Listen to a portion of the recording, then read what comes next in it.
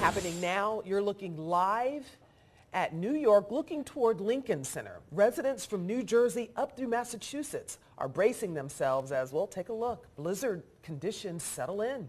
Some areas are expected to see up to three feet of snow, maybe some hurricane force winds as well.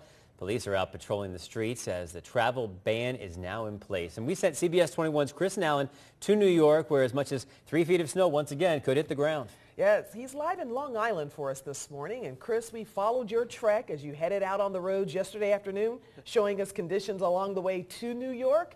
And it looks like what you're experiencing right now is making us count our blessings here in Pennsylvania. Yeah, I, I would say, uh, Sherry, Joel, you guys are very, very lucky. The four of you very lucky. And if you're obviously watching at home from Central PA right now, again, we're on Long Island, the South Shore.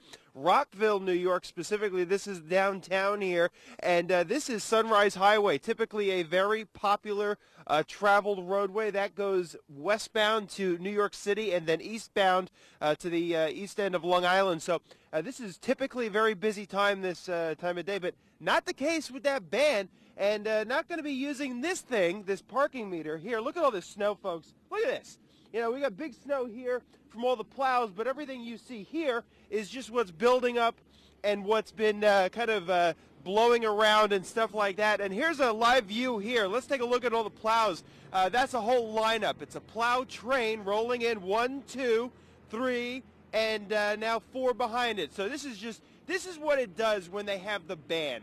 That really keeps the roads nice and clear, and uh, they've been doing a great job because them keeping all the people off, or at least the majority of the cars out of the area, has kept these roads much more safe, and then everybody can get going by tomorrow. Again, that's their goal, to make sure Wednesday is a smooth riding day here in, uh, in a very, very populated area. But doesn't look so populated right now. In fact, it's just very quiet. You can see here, uh, nice and deep snow, and it's a real fluffy snow. You know, it, it just, uh, not the snowman type of snow here.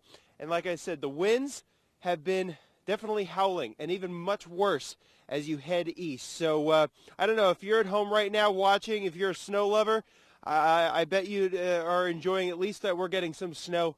Maybe just not this much, right? It's always a good thing that we're not getting a little too much. But uh, That's right.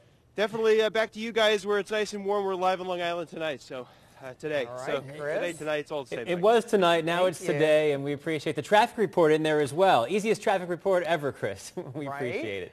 It looks like folks are listening to the travel ban. Yeah, we'll And see you you know, soon. Chris is actually doing snow angels and building a snowman in between his live shots. We'll take a look at that online later. All right. Well, this blizzard is